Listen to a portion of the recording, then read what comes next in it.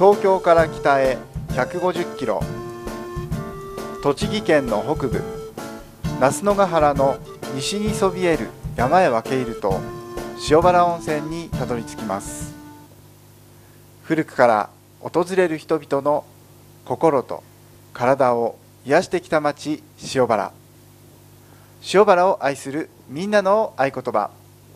塩原プラスラブで塩原ラブ。第117回始まり始まり。皆さんこんにちは。こんにちは。パーソナリティの高一です。そして塩原高原大根のフロフキンです。フロフキンちゃんこんにちは。こんにちは。最近ねちょっと開け,、開けちゃう時が多くなってね、うん。楽しみにしている皆さんに申し訳ないんですけすどね。みません。はい久しぶりに番組やらせていただきますのでね、はい。最後までねぜひ楽しんでくださいね。と言いながらも、うん。カウントダウンという感じでね年うん。末もう12月も残りわずかという感じになってきちゃいましたよね。早いね。早いね。うん本当紅葉が終わってからのこのうん。階段を駆け下りる感じっていうの？本当だ。本当だね。ねもう日も短くなってきてね、うんうん。この間もね日没が早いからなんて話したけど、うん。本当に日がギュギュッと詰まってきたよね。そうだ。5時なんつったらね、うん。もう真っ暗だもんね。そう夕方も真っ暗朝も真っ暗って感じだよね、うんうんねもうでももう少しで折り返しでね今度春に向けて それも気が早いけどね 進んでいきますね。さあ、えー最初のコーナーです。塩原で起きたあんなことこんなことをご紹介していきます。ローカルニュース塩原事件帳さあ年の瀬というお話をしましてね番組でも紹介をしていましたけれども塩原温泉では餅つきの催しがありました。うん。フロフキンちゃんご存知？塩原ではこんな人たちが餅をつきましたね。ほお。かみさんたちです。こちらですね。こちら。はい、ううん。えー塩原にはね旅館がたくさんありまして、えーおかみの会というのがあるんですね。おかみさんたちの会ですね。そのおかみの会が、まあ、中心となった催しでこの年末1年間の来客に感謝しそして来年もね、えーたくさん、えー商売繁盛ということでね、えーそういった、えーお餅つきおかみ餅つき祭というのがあります。12月の15日この日は寒かったんです。ああそうだ、ねうんうん。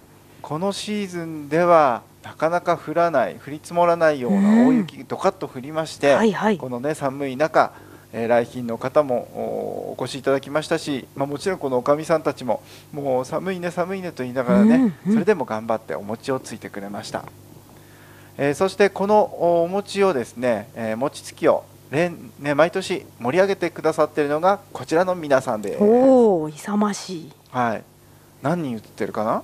一二三四五六七人ぐらいいますね。うんえー大きなね、えー、臼の周りに六人つき手がついて、うん。であとこね取りをする人がいてね、うんうんうん。えートントントンとね、えー、2つずつ、まあ、三拍子でねうん。ついていく、ね、そんなパフォーマンスもあるんですが郷土芸能、まあ、伝統的なね、えー餅つきの仕方ということで引沼餅つき保存会というね、まあ、引沼地区にえー伝わるものなんですがこちらの皆さんね来ていただきまして、まあ、おかみさんがつく餅のこね取りもしてくれますしこうしたパフォーマンスでね会場を盛り上げてくれました。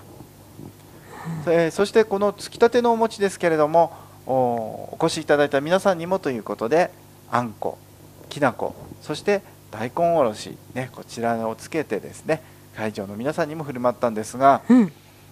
この寒さでしょ？うんつきたてのね、うん。ほかほかのお餅うん。準備して並べてるうちに周りの寒さでねすぐ冷たくなっちゃってねあちょっと今年は冷たいお餅になっちゃったねなんて言ってましたね、でもねつやつやできっと美味しそうだね。そうですね、うん。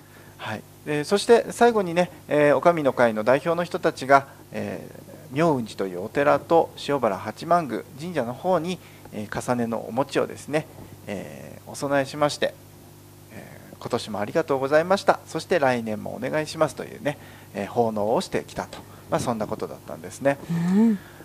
まあ、やはりいいね、寒い季節になりましたけれどもこうした、ね、風物詩を見ていただくというのもね、えーお客様の思い出になったのかなということで、えー今日は、えー、おかみ餅つき祭についてご紹介しました。それではここで映像をご覧いただきます。この店知ってる？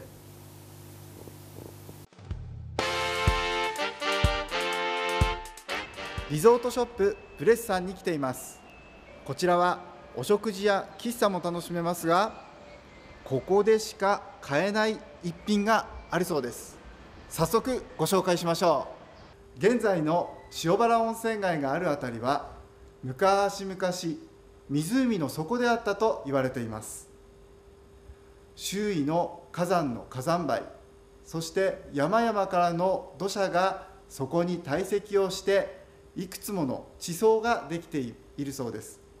これを塩原湖清層と呼ぶんですがこちらリゾートショップブレスさんではその湖清層つまり数十万年前の土を釉薬に練り込んだ陶器を作って販売してるんですね。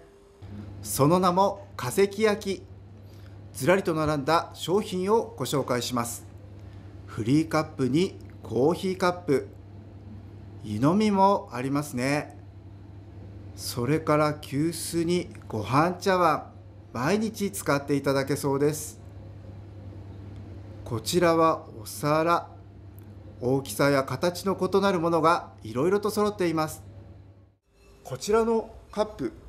サラダやスープ煮物などいろいろと使えそうですね。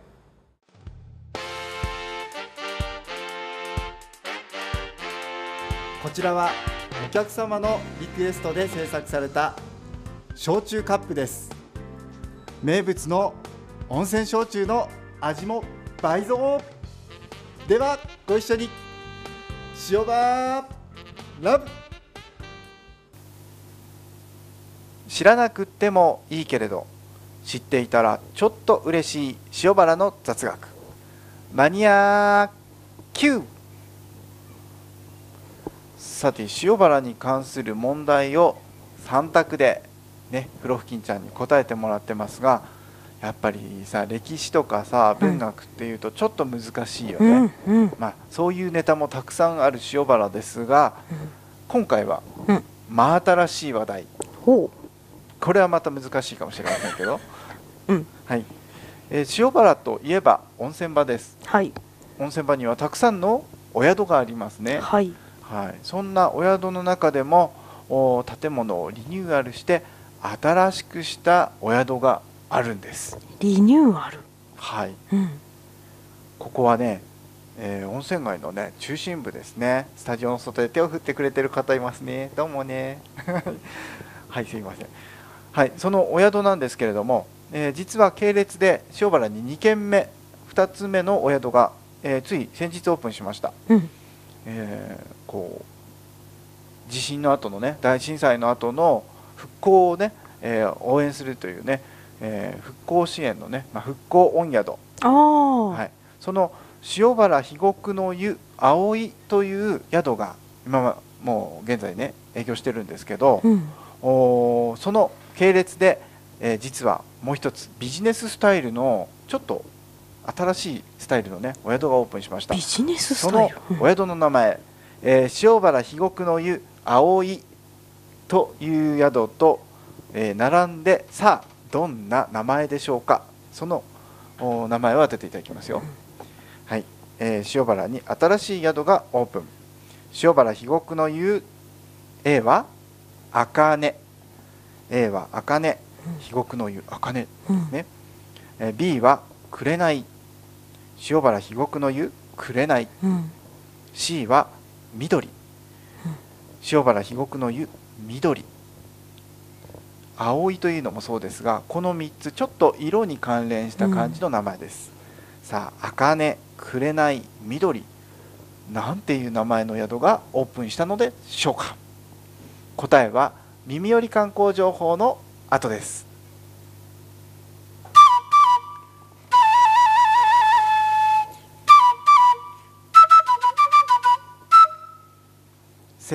の耳寄り観光情報黒ふきんちゃん、うん実はねはいまたスタジオの外で見見守ってくれている女の子たち3人 います嬉しいね。ねすごいね。ねあの見てくれてまして嬉しいですね、うん。うんさあ、えー耳寄り観光情報では、えーこの先のね塩原のイベントなどをご紹介しますがちょっと先取りな感じです、うん。はい。今日はですね雪が降りましてはい。さあ家の中に閉じこもってちゃいけませんよね 元気にいいフィールドへ、うん外へ出かけましょうということで塩原温泉ビジターセンターで開催するスノーシューのイベントほこちらを紹介していきますはい。スノーシュってうん。わかりますか？雪の靴？ゆ雪の靴靴？直訳ですね はいあーまあ雪の上を歩ける靴というよりは、えー日本には漢字木ね、うん。あのー木でこうね組んだような漢字木ありますけど、まあ、西洋風な漢字木ということで例えばアルミとかねそういったものでできているへ漢字木え。まあ靴のね足の周りをちょっと大きくして、まあ、雪のお中で沈まないようになっているものですね。でこのスノーシューを履いて、えー例えば大沼という沼のね、えーあたりとか、まあ、そういったフィールドに出かけましょうということでもうすごい人気のイベントなんですね、えー今年はですね、えー何回やるのかな、えー今のところ分かってるだけで6回の。イベントがありますけれども、おー。もう申し込みが始まるもの始まっているものもありますのでそちらから紹介です、えースノーシューハイキングというのが、えー何度かあーあこれは1回目かなありますけれども1月の26日が1回目です、まあ、雪降ったと言ってもねある程度こう降り積もっていかないと。それから水辺はしっかり凍って氷の上に雪がしっかり積もらないと危ないですからね。1月の26日にさい、えー行われるのが第1回目となります、ね、冬の塩原で大自然を丸ごと楽しもう。純白の雪原でスノーサファリ。というね、うんサファリ？サファリっていうとなんかすごい猛獣とか出てきちゃいそうだけどね、えー実はこの冬雪がね、えー降り積もったところに動物たちがいろんなサインを残していくうん。それは足跡であったりうん。落とし物うん。であったりね、えーそういったものを見に行ったりとか、えー春を待つ木々の、ね、目を見てあれこれってちょっと顔の形に似てるねとかね、うん。そういった目を観察したりっていうものなんですね。うん。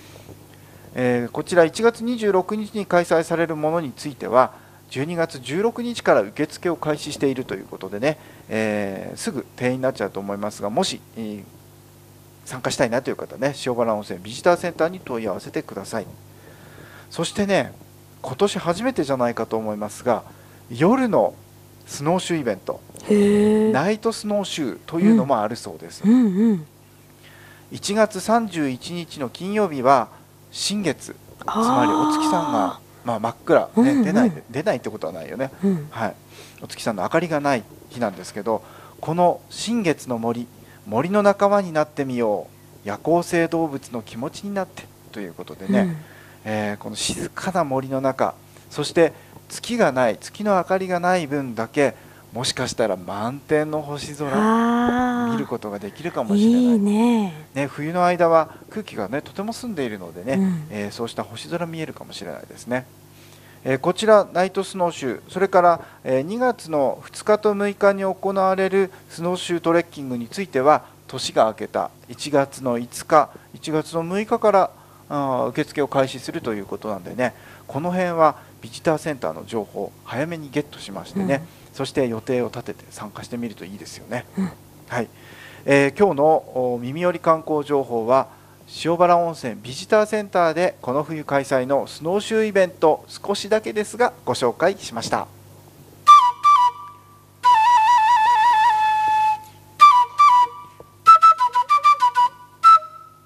さてマニア級答えの時間です。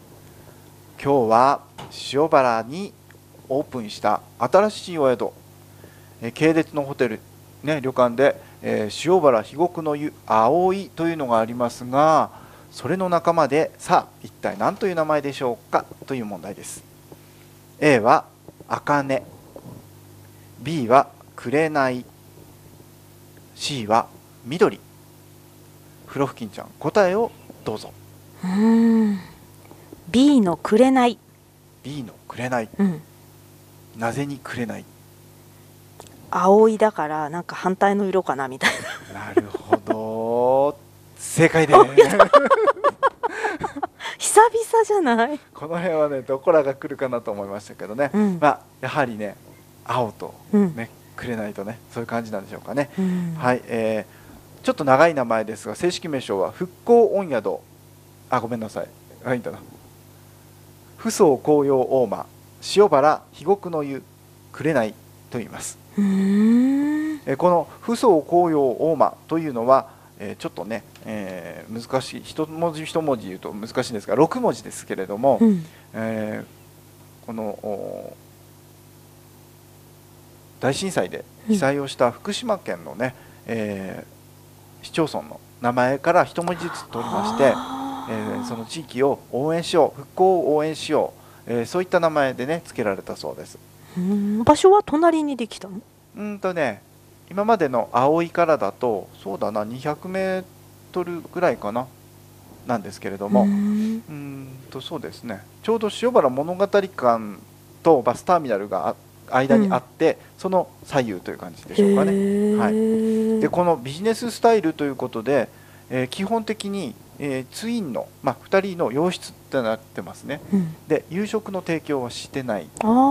で朝食が、あのーまあ、とシティホテルというかビジネスホテル泊まるとモーニングサービスみたいなので、うんうん。ちょっとした簡単なパンと、うんスープとかっていうのがあるじゃない、そんな感じで朝食を提供するということなんですね。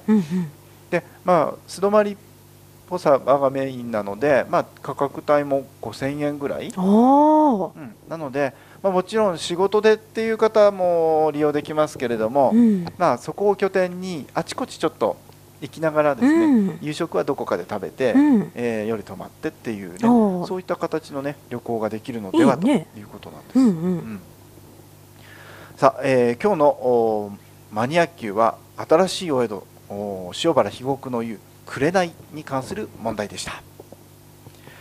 それではここで映像をもう一度ご覧いただきますこの店知ってる？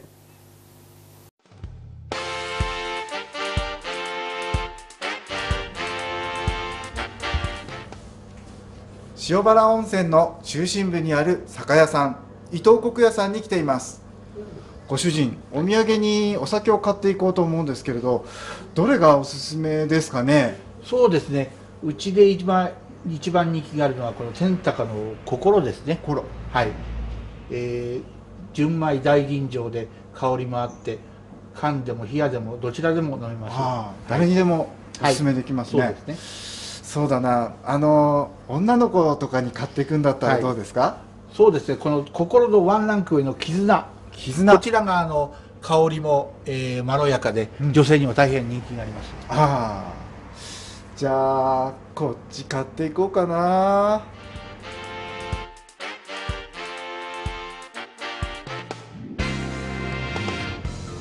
伊藤国屋さんにお伺いしました。あなただったら天高心ですか？それとも絆を選びますか？じゃあご主人ご一緒に。塩バーラブ続いてのコーナーは塩原を愛する気持ち。ふるさとを愛する気持ちから生まれた言葉です。塩原プラスラブで塩バーラブ。さあこのコーナーではいろいろとね、えー塩原のなんていうかな愛するものをね紹介したりしていますが前回2013年を振り返る山編うん。やらないかもしれないけどって言いましたけど、うん。思いつきましてうん。今回は、えー年末解雇2013年を振り返る行事 VS 天気。行事対天気ということではい。どちらかというと負けた話。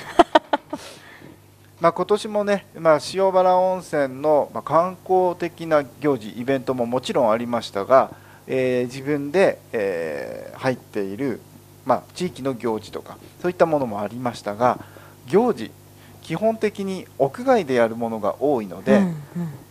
お天気との戦いですね。ですそのね日の天気がいいか悪いかで、うん。まあ本当天気で8割決まるっていうぐぐらい、うん。まあ、もちろん段取りは必要ですけど、天気でもうお客さんのねよし良かった悪かったもね、うん。相当決まるということで。さあ今年どうだったか総括していきましょうね。はい。えー4月の27日36回の湯煙マラソン大会がありました、うん。この日前日お天気悪くてうん。グラウンドがね結構ぬかるんでしまって、うんでも明日の天気はいいよね。なんとかなるよ。お天気予報晴れだし。と期待をしていましたがうん。ひどい雨でしたね。あそうだっそう。け雨が残ってしまった上にうん。突風とまでいかないけどかなりの強風が吹きまして、うん。えーこの日はねもうランナーの皆さんには本当に大変怒られるぐらい。ええ路面道路を走っている間はまあ濡れるのはいいけれどうん。グラウンドに帰ってきたらもうグラウンドが沼のようでぐちゃぐちゃだよとうん。こんなに汚れてどうするんだっていう感じでした、うん。えーその上ですねまああの雨風がある中であの避難する場所というかね、うん。あの建物とかに入っていられなかったので、まあ、その辺でね、まあ、体調を崩された方いなかったかなとねすごく心配だったんですけどね、あのースポーツ用品とかを出店していた何店かのお店がですね、うん。テントが飛ばされそうになっちゃうというハプニングがありまして、はいはいうん。えー開始する前に撤収して帰っていっちゃったと。それはそれは。はい、えーそれから、えー6月9日には紅葉谷大吊り橋で、うん。あのロマンチックなイベント、何今？の ちょっと今ハートを飛ばしてみたんだけど。なるほどなるほど、はい。えー、紅葉谷グリーンウェディングというね、うんえー催しがありましたがこの日のお天気は？実はねすごく良かった、うん。えー梅雨に入ってね天気悪い日がねあるありますけど今年の梅雨ってそんなにひどい天気なかったかもしれないよね。うん。えこの6月9日朝からとてもよく晴れましてちょっと暑いよねってぐらいだったんですけど、うん。まあ、初めて、えーウェディングドレスから、えー和装、うん。ねえー打ち掛けとか、えっと白むくですね。白むくに着替えてもらってね羽織袴でということだったんですけどね。これはとてもね綺麗なうん。あの綺麗なというかね美しいイベントになりましたね。うん。これは勝ちました。勝ち負けじゃないけど。さあそして、えー7月28日には川崎大師厄除け不動尊というのがね丘の上にありましてこちらの祭典だったんですけどこの日のお天気はまあまあうん思いきやうん。そのお行列をね組んで歩いていって山頂でのおごま法要というのをねやっているうちにゴロゴロゴロゴロうん。ザザーッと 振られてしまいました。なかなかこの川崎大師のねこの7月の、まあ、年祭法要というのは振られることが少なくてですね、まあ、今の一番、まあ、トップにいる、まあ、カンスという人がすごい晴れ男でね、うん。えー振られることほとんどないんですけどね、まあ、ちょっと今年は天気やられちゃいましたね、うん。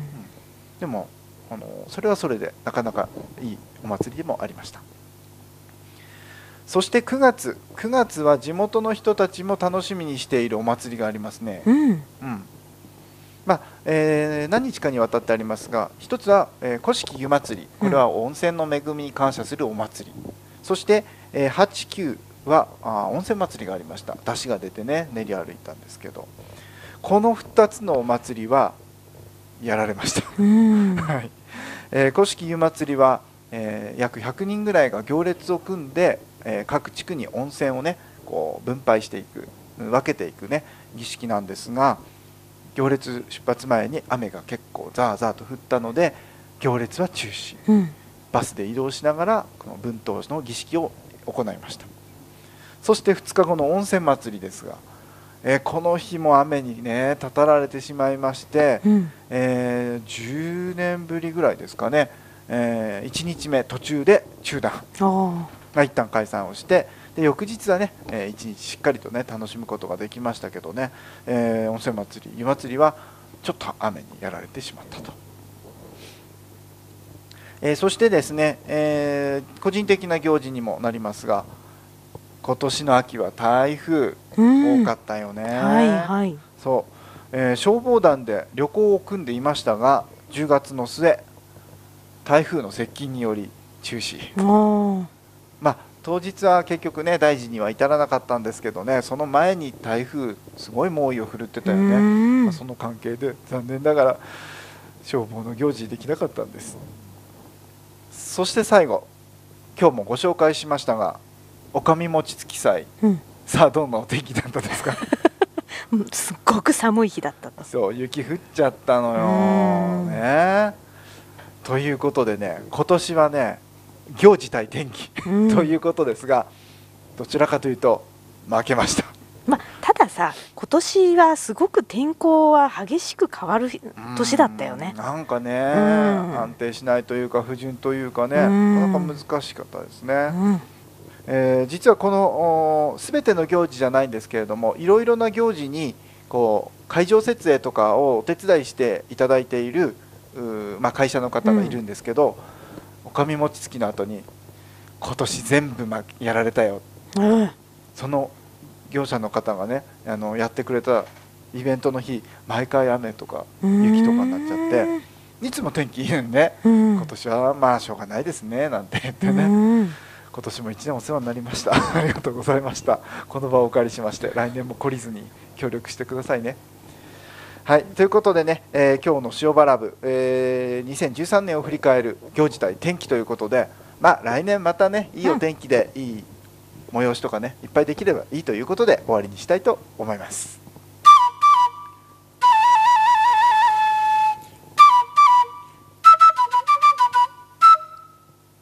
最後のコーナーです。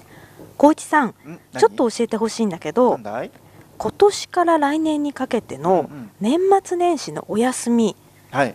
なんか今回は非常に長く取れる人が多いと、そうだね、うん。今年はすごく日の並びがいいよね。えっ、ねなんかすと御用納めから入って、うん。土曜日からお休みが始まって、土日月火水木金土日、9日間ぐらい取れるところもあるって、う。ん。暦通りの最長がじゃない？9日間。でうんさすがに年末年始塩原うんうはん。取れないよね。うん。お宿ですね、はい。泊まりたいのね風呂付近ちゃん。うん。よく言われるからさ聞かれるかそうらだね。もうね早々に31と1日っていうのは本当に早い時期に埋まってしまうんですね。でもうやかっぱりもう1ヶ月前そう11月中だともうほとんど見つからないよっていう感じになってて。うん。でやっぱり今年はその並びがいいのでうね、ん。もう23まあ年内だとままだいくちょっと取れるかもしれないけど、うんうん。まあ31から123ぐらいだとやっぱり厳しいかな。おじゃあ三が日過ぎたぐらいからだったらなんとか、そうだね。まああのその多分大晦日からも取れるかもしれないんだけど、うん。キャンセルが出たらという条件でギリギリになってああちょっと行け,、ま、行けなくなりましたっていうとその情報って入ってこないんだよね、うんうんそうするとお江戸にかけててあさっきちょうど空いたのよとか言うとパンと入れるんだけど、うん。難しい。じゃあ今からっていうとやっぱり今言った通りだね、うん。3日あたりから345、そしてまあこの連休終わった後にもし行ける人がいたら、うんそのあたりかな。やっぱちょっとねずらして取るのがいいのかな。うん。うん。小学生とか中学生ねはあの冬休みがまだあるようであれば、うん。ちょっとお父さん休み延長しちゃうとまずいかもしれないけどね、4日とか5日あたりの泊まりあたりを狙っていくといいかもしれないよね、いいかもね。年末年始はお正月のお家で過ごして、そうそうそう。ね、さて遊ぼうってね、いうのもいいかもしれない。いいかもしれないようん。ね、なるほど。じゃあうん。狙い目はお正月明け明けですね。それかねもし早めに動けるんであれば大掃除を今度の週末あたりにしておいて、うん。あのー、2930あたりに行っちゃってーいいね。年越しはやっぱりうちでのんびりとテレビとか見ながら過ごしちゃおうかなと、なるほど。うん。狙い目だと思います、それもいいですね。うん、なるほど。小市さんありがとどういたしましてぜひ塩原にお越しくださいうね、はい。さあということで、えー今日の番組も終了終了となります。今日は、えーね、スタジオの外にね結構お子さんもたくさんうん。見えてましたのでね、もう終始手を振っていただきね、えー楽しく、えーおとお届けすることができました、えーこの後は、えー落語芸術協会とパナソニックの協力により作成された、えー塩原温泉のね PR 映像をご覧いただきたいと思います。引き続きどうぞ。塩原プラスラブで塩原ラブ。